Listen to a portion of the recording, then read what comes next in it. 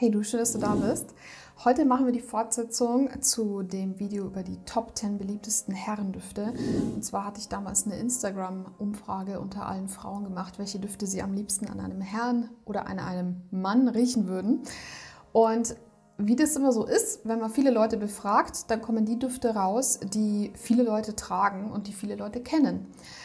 Und heute suchen wir uns zu jedem einzelnen dieser Top 10 Düfte, die wirklich überall sehr gut ankommen, Pendants. Und zwar werde ich versuchen, zu den günstigen Designern interessantere, kreativere Nischendüfte zu finden, die ähnlich sind, die aber nicht jeder trägt. Und zu den teuren Nischendüften werde ich versuchen, günstige Dupes zu finden, könnte man sagen, die aber genauso attraktiv sind, die genauso gut ankommen, die einfach nur euren Geldbeutel ein bisschen besser verschonen. Falls ihr zum ersten Mal hier bist, herzlich willkommen. Ich bin die Leni und ich rede super gerne über Parfum und ich würde mich echt freuen, wenn du mir öfter zuschaust und diesen Kanal abonnierst. Ich lade zweimal pro Woche für euch Content hoch und ich freue mich über jeden einzelnen von euch. Auf Platz Nummer 10 hatten wir den Jazz Club von Replica von Maison Margiela und der Jazz Club ist eben dieser wahnsinnig schöne, süße Smoky Boozy Duft, aber manchen Leuten kann der auch zu süß sein. Manchen Leuten ist der einfach eine Nummer zu heftig. Meine Alternative dafür ist Your Flames von Nishane. Der ist vom Charakter her ähnlich, ein bisschen weniger süß, ein bisschen grüner, ein bisschen herber, ein bisschen erwachsener finde ich und ein bisschen weniger verspielt. Einfach ein bisschen ernsthafter und mit einer so viel besseren Performance. Also wer den Jazz Club mag, der sollte Fan Your Flames unbedingt ausprobieren. Auf Platz Nummer 9 hatten wir den Harrod und verzeiht mir bitte den dreckigen Flakon. Der Putzlappen ist leider gerade nicht in Reichweite. Der Harriet geht in eine ganz ähnliche Richtung wie der Jazz Club, aber der ist einfach nochmal eine komplett andere Liga. Der Harriet ist einer der geilsten Düfte ever. Der hat noch ein bisschen Kirscharoma mit drin. Smoky, Osmanthus, Tabak, der ist äh, Verführung in einer Flasche und ich habe euch ja schon tausend Ohren über den Harrod abgekaut und ich war so froh, dass der in der Liste gelandet ist. Aber der Harrod ist halt schon teuer. Und deswegen habe ich einen super geilen Dupe für euch, wobei Dupe kann man eigentlich gar nicht sagen. Dupes haben meistens eine schlechtere Qualität und das würde ich hier bei dem überhaupt nicht unterschreiben. Und zwar nennt er sich Divine Vanille von Essential Parfum. Und der ist wirklich zu 95% ähnlich. Der ist so spitze und der ist sogar vom selben Parfümeur. Das heißt, ich habe das Gefühl, der hat einfach die Harrod DNA fast eins zu eins wiederverwendet. Die Qualität ist wirklich ähnlich gut. Die Haltbarkeit ist ganz eine Idee schlechter. Und einer von euch hat mich auf den gebracht übrigens. Den, äh, der Casey, der hier oft unter die Videos kommentiert. Schreibt immer lustige Kommentare. Habt ihr bestimmt schon mal gelesen, wenn ihr hier äh, Regulars seid. Und der hat mir den mal zugeschickt und hat gemeint, der wäre super ähnlich wie der Harold und er hatte recht. Und ich finde, der Name Divine Vanille führt total in die Irre, weil es geht nicht wirklich um Vanille in den Duft, es geht um den Harold. Er hätte ihn auch Harold 2.0 nennen können. Wahnsinnig schön. Äh, kleinen Unterschied gibt's. Er ist ein bisschen weniger würzig und dafür ein bisschen mehr süß. Also ich sage ja schon immer, den Harry könnten auch Frauen tragen, den Divine Vanille könnten mit Sicherheit auch Frauen tragen, wobei der immer noch eher maskulin ist und eher unisex. Und der ist wirklich günstig. Ihr bekommt den Divine Vanille für 72 Euro, die 100 Milliliter, während die 75 Milliliter beim Harrod 170 Euro kosten. Also das ist irgendwie, ja, also ich, ich glaube, aus allen Matches, die ich heute gefunden habe, ist das wahrscheinlich das Beste. Und da bin ich am stolzesten drauf, beziehungsweise Kompliment an den Casey für diesen echt guten Tipp. Auf der Nummer 8 hatten wir den Allure Homme Sport von Chanel.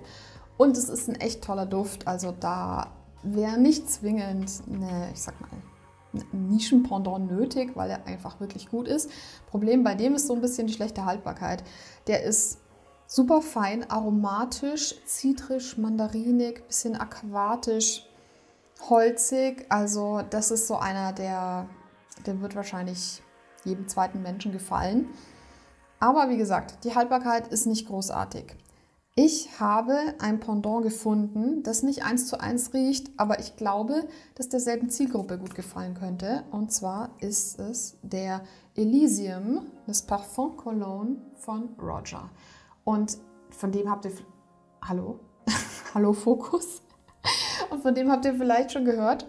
Ähm, der ist ziemlich bekannt und der wird oft als Aventus-Killer bezeichnet, was ich irgendwie nicht nachvollziehen kann, weil ich finde, so viel Ähnlichkeit hat er nicht mit dem Aventus.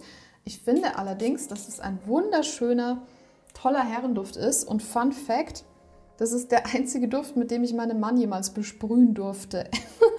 ich weiß nicht, was los war. Ich habe ihn, glaube ich, einem schwachen Moment erwischt, weil normalerweise trägt er keine Düfte. Normalerweise darf ich ihn nicht mit irgendwas besprühen.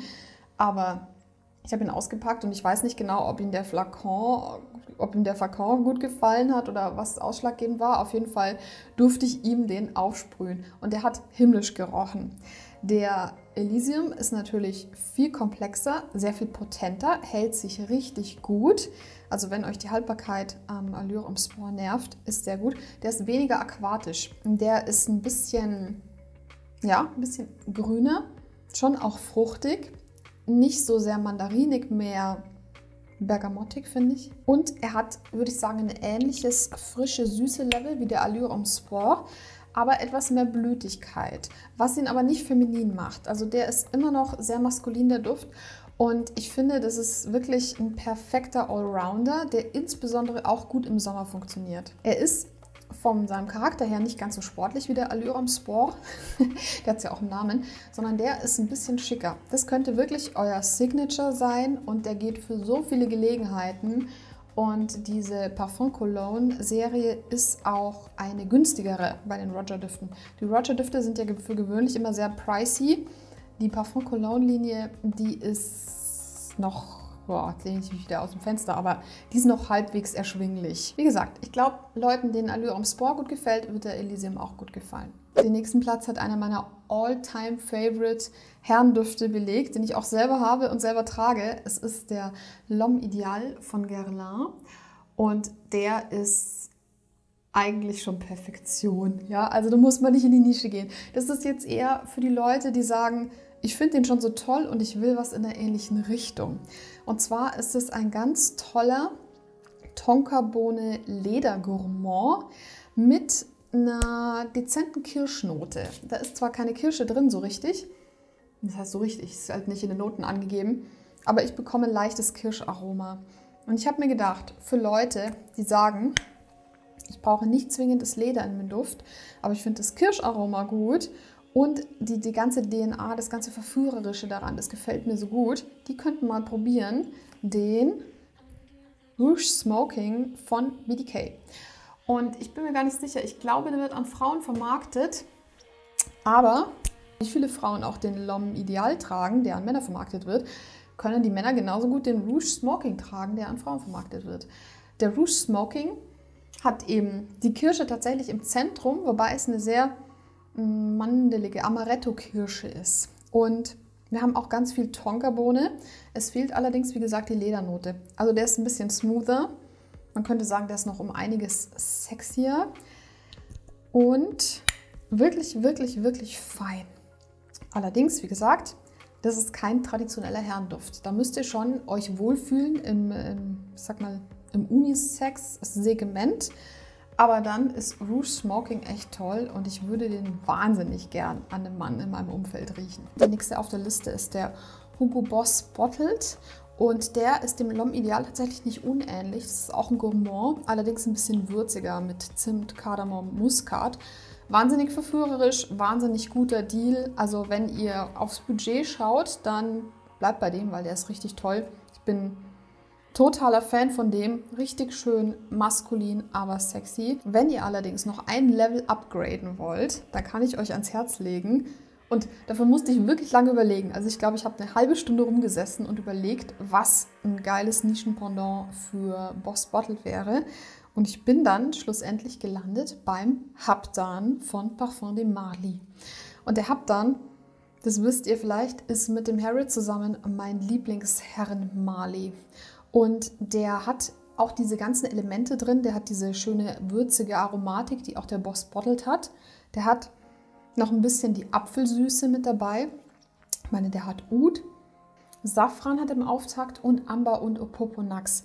Das heißt, der ist noch ein bisschen vollmundiger, ein bisschen komplexer, ich finde auch ein bisschen erwachsener. Den sehe ich vor allem bei den Männern ab 30 und ich sehe ihn insbesondere bei Vätern Frag mich nicht, wieso ich diese Assoziation habe. Irgendwie erinnert er mich an einen liebenden Vater. Der hat irgendwie was Geborgenheit gebendes, was Beschützendes, was total Attraktives, was Einladendes. Also der Haptan, der ist wirklich so oder so mal eine Probe wert. Da müsst ihr jetzt nicht unbedingt ein Fan von Boss Bottles sein, aber ich finde einfach, wenn euch der Boss Bottle gefällt, dann könnte der Hub halt total eure Richtung sein. Also der ist nicht so, ich sag mal in Anführungsstrichen nicht so websig wie der Boss Bottled, sondern der ist schon irgendwie angekommen. Der ist so stilvoll irgendwie. Ich liebe den dann. Und Performance ist natürlich großartig. Also da, wo ihr natürlich mit so einem Designerduft wie dem Boss Bottled nur eine begrenzte Haltbarkeit und Sillage bekommt, das ist einfach auch dem Budget geschuldet, bekommt ihr mit dem Haptan alles. Ah, der nächste Duft, der war auch echt schwer. Und zwar war das der Dior Homme Intense. Und der Dior Homme Intense ist ein wunderbarer, schöner, richtig toller, verführerischer Date-Duft, würde ich sagen. Ein Iris Cedar, ganz weicher Duft mit, mit Ambrettsamen, also ganz, ganz fluffig ganz, ganz pudrig und trotzdem irgendwie maskulin. War wahnsinnig schön, ja, also wirklich zum Verlieben.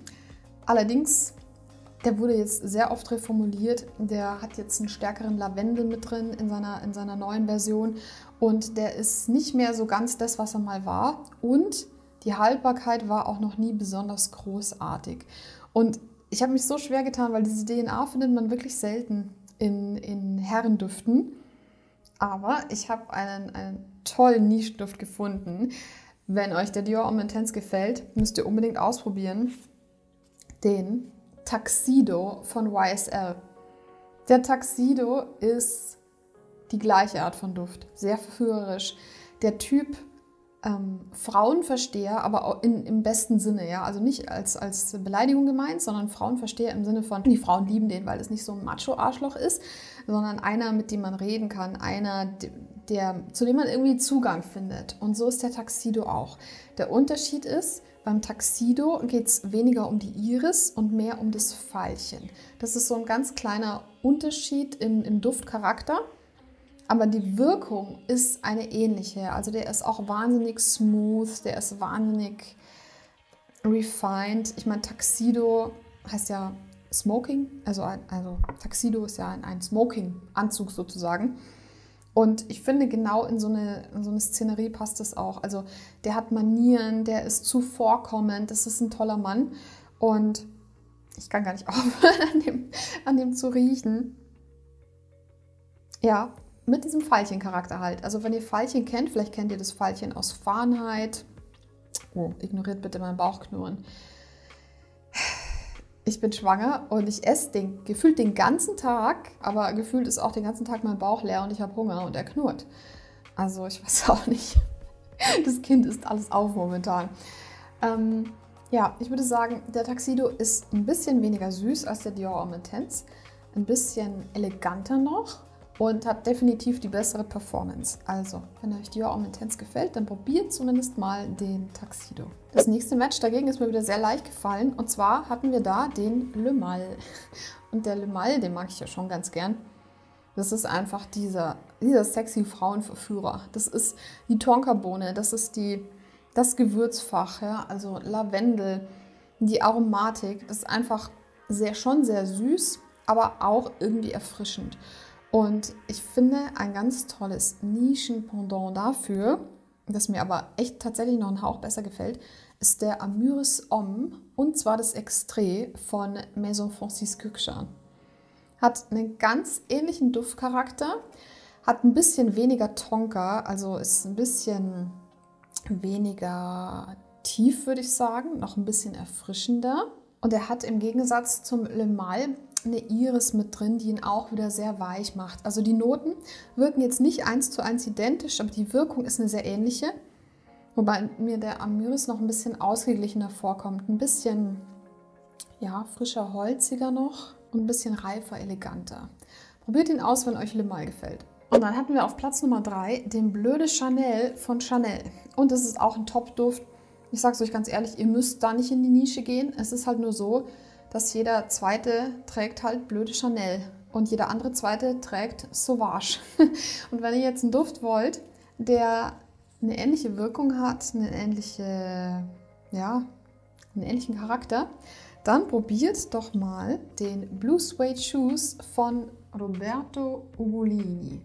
Den hatte ich euch schon mal in meinem Roberto Ugolini Markenreview vorgestellt und ich finde einfach, der erfüllt denselben Zweck. Die sind sich nicht eins zu eins ähnlich. Eigentlich, wenn man sie so direkt nebeneinander riecht, gar nicht mal so ähnlich. Aber die haben dieselbe Aura, die haben denselben Zweck, die sind beide sehr businesslike. Ich sehe die beide an Geschäftsmännern, an einfach, ja, an einfach schicken Männern im Beruf. Und da hat er wirklich Signature-Qualitäten. Und der ist so schön holzig, ein bisschen aromatisch, ein bisschen frisch. Also einfach eine richtig geile Kombi. Wobei die Holzkomponente hier schon noch mal viel stärker rauskommt. Und er hat natürlich auch die bessere Performance als der blöde Chanel. Also überlegt euch den mal zu probieren. Blue Suede Shoes von Roberto Ugolini. Und dann hatten wir auf Platz 2 natürlich den, den König der Könige, den Aventus, den Ananaskönig, den Ananas Holz Freshy König. Und ich finde halt, der Aventus ist ja schon super teuer. Und ich muss aber sagen, bei der Aventus-Kategorie, da würde ich persönlich im Nischensegment bleiben. Ich finde halt ganz toll den Hachivat von Nishane. Und der ist nicht ganz identisch wie der Aventus. Der ist ein bisschen eichenmoosiger, ein bisschen grüner, herber, noch ein Ticken erfrischender, finde ich, und minimal weniger fruchtig. Aber mir gefällt er einfach wahnsinnig gut und die Performance ist der Hammer. Das ist ein Extrait und der hält euch wirklich nicht nur den ganzen Tag, sondern auch die ganze Nacht. Wenn ihr allerdings jetzt sagt, ich will wie Aventus riechen, aber nicht so viel Geld ausgeben, dann würde ich sagen, holt euch den Club de Nuit Intense von Amaf. Das ist, glaube ich, bei den günstigen Düften der, der vom Duftcharakter her noch am besten hinkommt. Ich bin jetzt nicht super Fan davon, weil ich finde, man, man merkt schon Qualitätsunterschiede. Aber wenn ihr Aventus on a Budget wollt, dann holt euch den Club de Nuit Intense Man. Und die Nummer 1 war natürlich Sauvage von Dior, das Eau de Toilette. Und der Sauvage ist einfach so bekannt und beliebt und es ist ein geiler Duft. Da gibt es nichts dran zu rütteln. Es ist so. Er kommt wahnsinnig gut bei den Leuten an. Viele Leute haben sich ein bisschen abgerochen davon schon, inklusive mir, weil man ihn einfach an jedem Mann riecht. Ja? Und wenn man jetzt etwas möchte, was ähnlich aquatisch frisch holzig ist, dann muss man echt lange suchen, weil es gibt nicht viele sehr ähnliche Sachen. Ich habe jetzt eine gefunden, von dem ich wirklich finde, der ist ein guter Match für den. Also der kann sich tatsächlich auch in der Attraktivität ähm, messen. Und zwar ist es der Masculin Pluriel von Maison Francis Kurkchan. Ja, der Masculin Pluriel ist ein geiler Duft, so auch wirklich sehr, sehr, sehr maskulin, sehr herb, sehr holzig, super frisch und hat allerdings einen starken Lavendel mit drin, im Gegensatz zum, zum Sauvage. Ich finde, der geht sehr viel mehr in die Fougère-Richtung, also sehr viel mehr traditioneller, klassischer Herrenduft. Aber ich denke, so von der Wirkung her sind die sehr ähnlich, weil der Sauvage ist auch wirklich so einfach männlich-männlich. Der Mascular Pluriel ist auch sehr männlich, sophisticated, ein bisschen barbershoppig sogar und glaube ich eine gute Alternative für Leute, die sagen, ich habe jetzt jahrelang den, äh, den Sauvage getragen und ich habe jetzt irgendwie keinen Bock mehr zu riechen wie jeder zweite und ich mag was Neues ausprobieren und es soll was Hochwertiges sein und was, was, ja, was Feines, dann schaut euch den Mascular Pluriel von Maison Francis Kürkschan an. So, meine Lieben, das war's. Das waren meine meistens Nischen-Picks, manchmal Dupes. Also ich muss euch wirklich nochmal den Divine Vanille ans Herz legen. Schaut euch den mal an. Testet den, der ist super schön. Und für die anderen, ja, die Duftcharaktere überschneiden sich meistens nicht eins zu eins, aber das war auch so ein bisschen mein Ziel. Leuten, die vielleicht ein bisschen müde geworden sind von ihrem Designer, den sie ständig tragen und den viele Leute tragen, denen eine Alternative zu geben von einem Duft, den vielleicht nicht jeder trägt und der vielleicht ein bisschen kreativer noch ist, ein bisschen bessere Performance hat. Lasst mich in den Kommentaren wissen, was ihr denkt. Ich freue mich auf euch im nächsten Video. Ich wünsche euch einen wunderschönen Tag. Macht's gut. Ciao, ciao.